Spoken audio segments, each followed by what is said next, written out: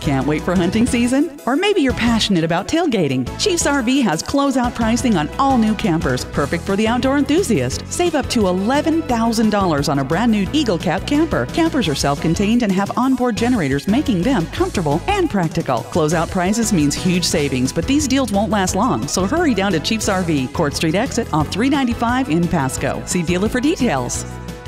At Chiefs RV, we make happy.